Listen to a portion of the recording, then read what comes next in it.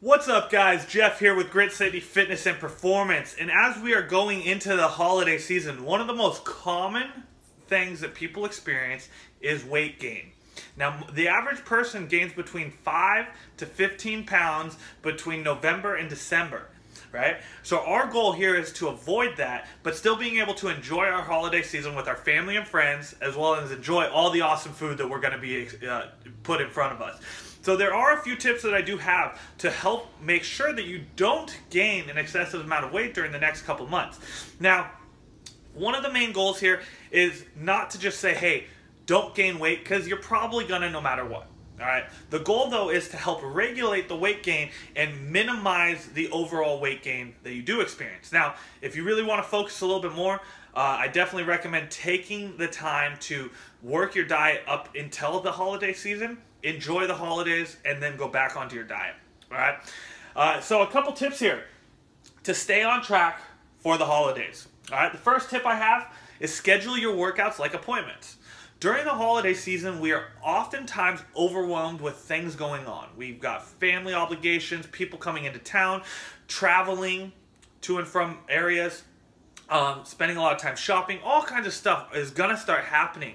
So, what you need to do is just like if you had a very important business meeting, work meeting, or anything like that, schedule your workouts like appointments.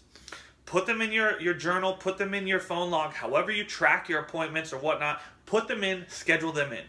Maybe this means that you aren't able to schedule as many workouts. You might not be able to do five times a week, but you can definitely schedule at least three. So I'd schedule in your workouts, just like appointments. This holds you uh, obligated to that appointment and makes sure that you do not book stuff over it. It takes a priority. Make sure that your workouts do take a priority instead of just saying, I'll do them tomorrow because I've got to go do this other stuff. Set them as an appointment. All right. Tip number two this more applies to the day of activities, but let's say we're at Thanksgiving dinner, and throughout the day, all I'm gonna do is do small workouts or movements. You don't need to go into a full sweat session every day that you have these binges or overindulgent days, but you do want to do small workouts or small movements. When I say small movements, that means park your car further away, walk a little bit more. Instead of sitting all afternoon, Maybe spend your time walking around, standing, doing other things that are small movements or small activities. All right, I'd also do small workouts. Those are things like you could just do a Tabata. Tabata is a 20 seconds work, 10 seconds rest for eight rounds. You could just do that with squats maybe in the morning and then push ups in the afternoon. And go through your day just doing these small, what I would consider micro workouts, but will help you burn calories throughout the day. So instead of sitting and doing nothing, do small activities.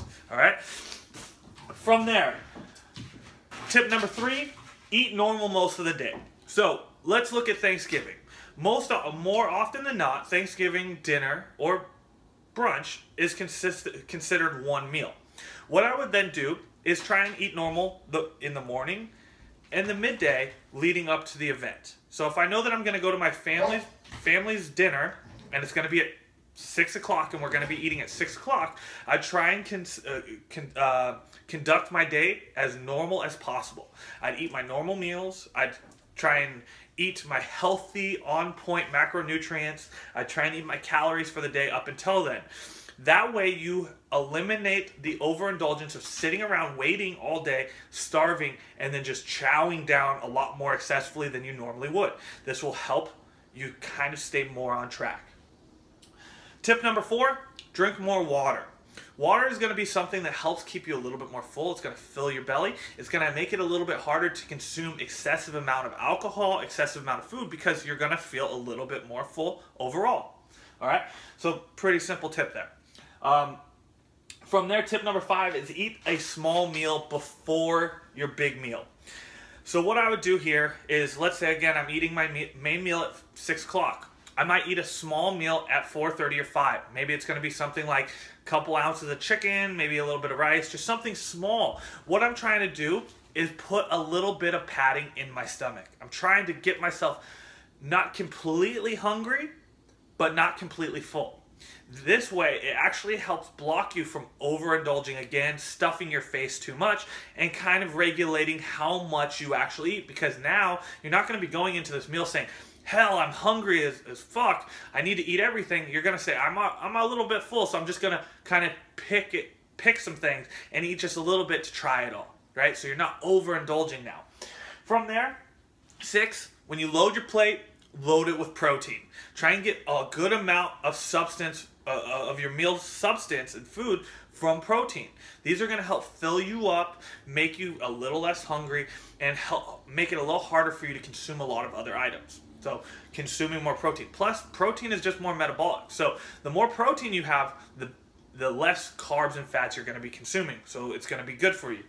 From there, eat for satiety, not fullness. So, what this means is eat to appease yourself and know that you had something, you tried everything. Because I know for myself, if I go to my grandma's house and I don't try everything, she's going to tell me that I need to.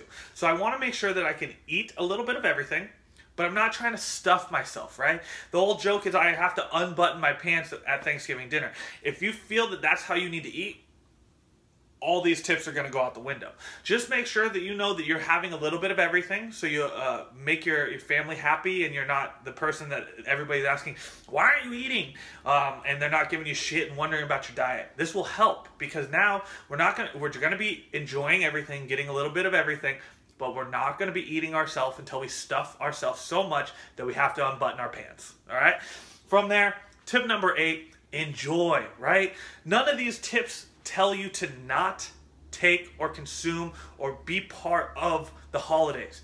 All it does is helps regulate and modify a little bit.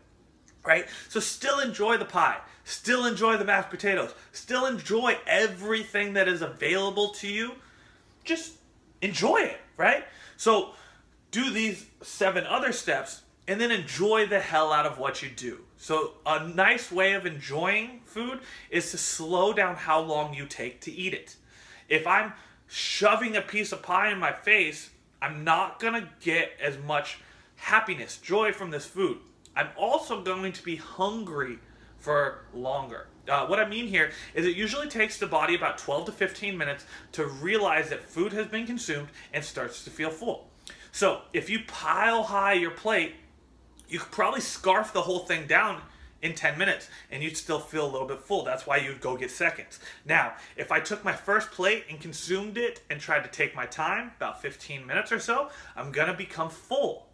So, while on one hand, I could have scarfed everything down and went from plate two, if I slow my food down, enjoy it, taste it, like it, I now get to enjoy the process. I get to enjoy the experience. I get to enjoy everything without the overwhelming desire to go get plate number two. Also, this just means enjoy what you're doing, right? Don't stress about the day. Don't stress about the bad stuff you're going to eat or how many calories that, that piece of pumpkin pie is. Enjoy it. Tip number nine get back on track. Don't let the holidays ruin what you've already been doing. Take that one meal and just know that it's one meal. It doesn't mess up or change anything else throughout the day. It doesn't change tomorrow.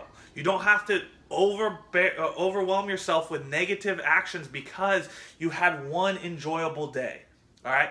Enjoy the process and do these other tips and then after your Thanksgiving meal or whatever holiday you're doing, get right back on track. So I ate that Thanksgiving meal with my grandparents at 6 p.m. today, and tomorrow I get back on track, right? I'm right back on the horse. I'm not letting that one bad day overcome all the good stuff that I've done building up to this. So now I can continue my results. Now, again, the goal is to always regulate body weight during the holidays, not to be that the, the average American who gains 5 to 15 pounds. But just know you might gain a little bit of weight the day of and day after holiday meals and experiences. And that's okay. But by taking these tips into account and utilizing them properly and implementing them, you will have a lot more success over the holiday season of staying on track with your workouts, staying consistent with your weight loss and goals, um, seeing the results that you want, as well as not gaining the excess weight and falling off track. If you have any questions, guys, feel free to comment below. I'm here to help you guys. Hopefully, you guys can implement these and these make sense, and you guys can see some great results and continued results during the holiday season while also enjoying the hell out of the time with your family, friends, food, and experiences.